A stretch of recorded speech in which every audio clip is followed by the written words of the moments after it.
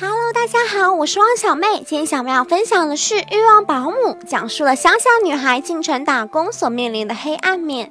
小张只是来到北京打工养活家里，工作难找，小张只能当保姆挣小费。小张来到有钱人老王家做清洁，刚好遇上王婆教训出轨的老王。但王婆走了之后，老王本性露出来，还给保姆小张弄个 cosplay。城里人真会玩，保守的小张不为五斗米折腰，潇洒的走。了。晚上回到那不足二十平米的房子睡觉时，做了一个噩梦，梦见弟弟到了北京，还变成人渣。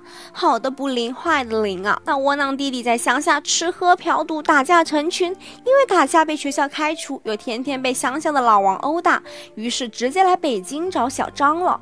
又多了个人要养活，小张只好屈从在老王的金钱下，满足他那变态的玩法。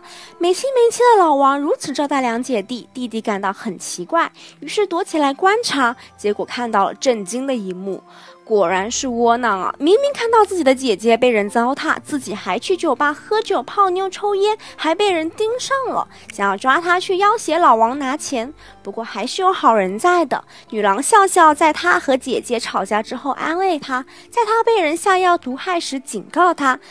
在他因为药力发作没力气时带他回家，在有人抓他时掩护他。可是这窝囊弟弟呀，竟然还打小张，斥责他不知廉耻，却利用小张为老王拿钱去花天酒地。经过笑笑的开导，弟弟向姐姐道歉，两人商量一同回到乡下。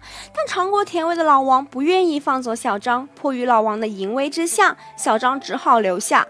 不忿的弟弟在药力的作用下干掉老王，并一力承担罪状。在这一点。点看来，弟弟还是不错的。